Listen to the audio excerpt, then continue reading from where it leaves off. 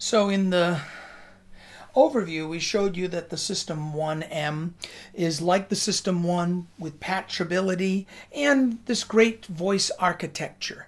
And just like on the System 1, um, the System 1M supports plug-out uh, technology.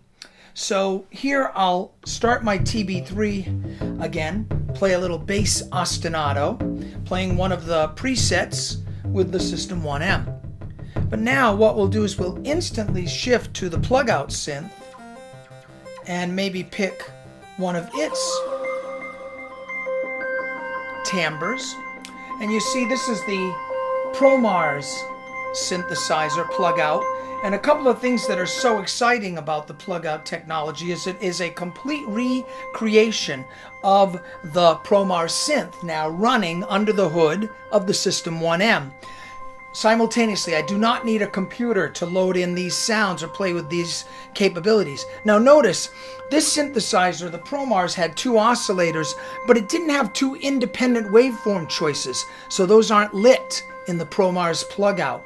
The um, ProMars had portamento, but it didn't have a pitch, independent pitch envelope, and so the pitch envelope is not lit up.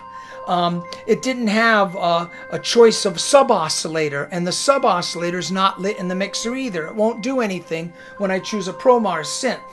This is really kind of cool that it re sort of uh, configures the hardware as well to reflect the plug out software. But the thing that I especially like is that all of the knobs on the System 1 and System 1M control all the knobs on the plug out virtual synth. So the audio unit uh, that comes with the plug out can all be totally controlled. Here I'm changing the amplitude envelope, I'm changing the filter cutoff frequency, and we see the knobs changing, the amount of resonance.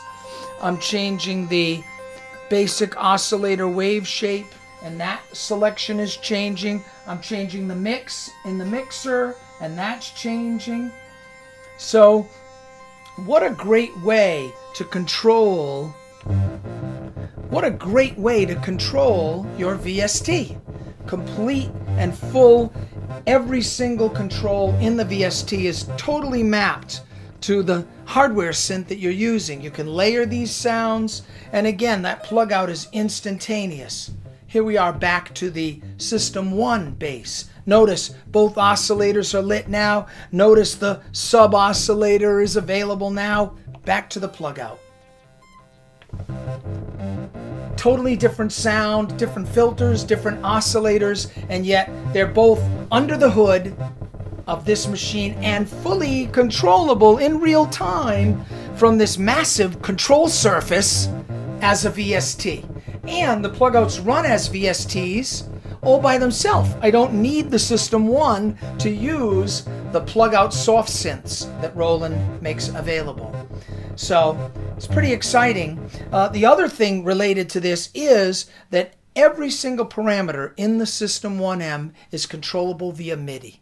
So if I use any MIDI controller, all the parameters are controllable. I can record all of that MIDI data as well and do real-time performance-based sound design a really exciting new possibility, and all of that's possible with the System 1M as well.